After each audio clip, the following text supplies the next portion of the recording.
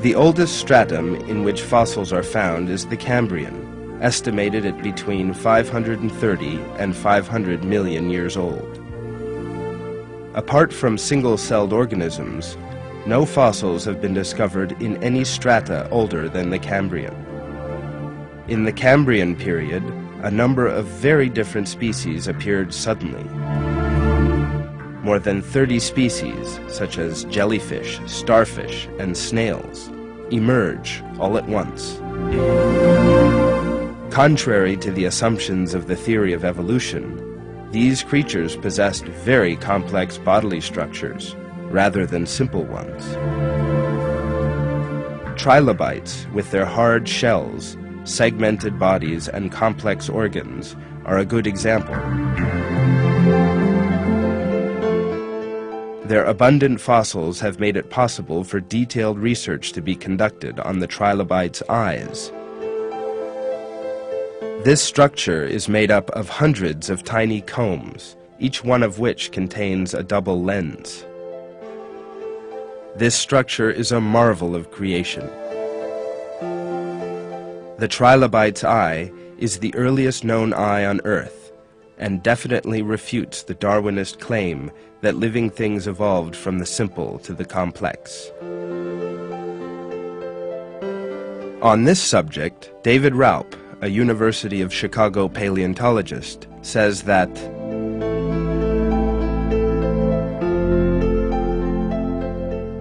the trilobites used an optimal design which would require a well-trained and imaginative optical engineer to develop today. In addition, this same ocular system has survived right down to the present day, unchanged over 530 million years, and can still be seen in such insects as bees and dragonflies.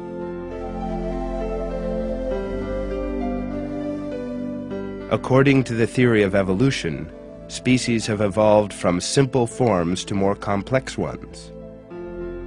Yet there are no other complex forms prior to trilobites and other Cambrian creatures, which appeared suddenly.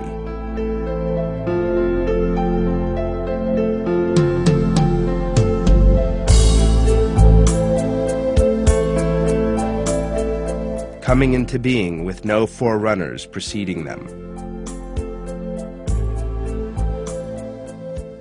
The British zoologist Richard Dawkins, the best known contemporary proponent of the theory of evolution, makes the following confession. It is as though they, Cambrian creatures, were just planted there without any evolutionary history. This totally invalidates the theory of evolution because, in The Origin of Species, Darwin wrote,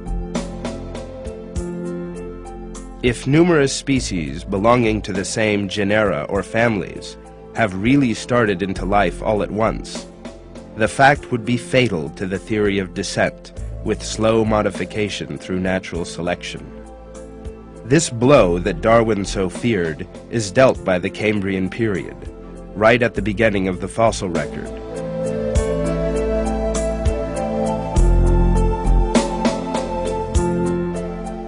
Because the living species in strata from after the Cambrian also appear suddenly, again with fully formed structures. Basic living classes such as fish, amphibians, reptiles, and mammals, along with hundreds of thousands of species within those classes, emerged on Earth all of a sudden, and all perfectly formed.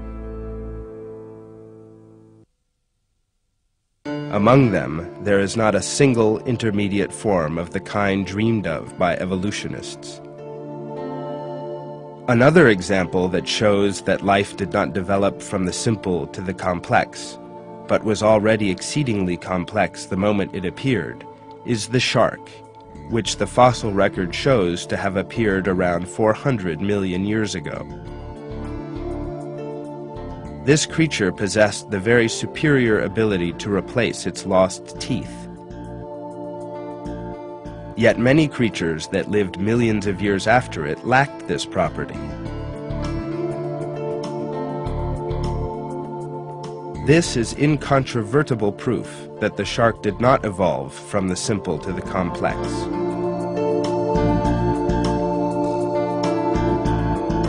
The fact the vertebrate mammalian eye and that of the invertebrate octopus, which species emerged hundreds of millions of years earlier than the mammals, resemble one another and have the same complex structures and systems is still more evidence.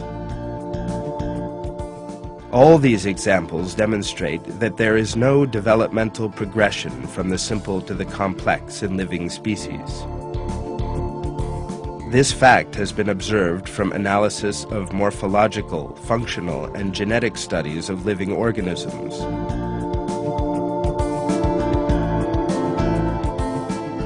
In terms of shape and size, for example, many creatures from earlier strata, such as dinosaurs, are far larger than others that appeared after them.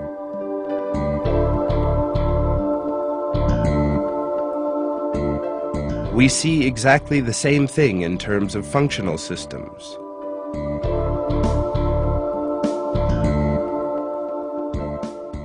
In terms of its structure, the ear is one example that refutes the supposition of development from the simple to the complex. Amphibians have a middle ear cavity, yet reptiles, which emerged after them in the fossil record, have a simple hearing system based on one single small bone and possess no middle ear cavity. Genetic research produces similar results.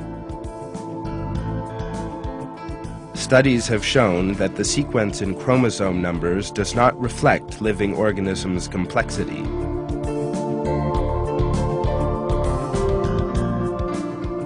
For example, human beings have 46 chromosomes, the copepod crab only 6, yet the microscopic life form Radiolaria a massive 800.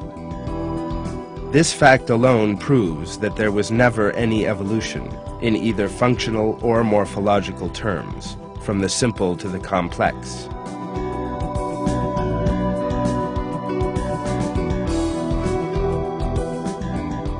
The evolutionist paleontologist Mark Czarnecki admits as much.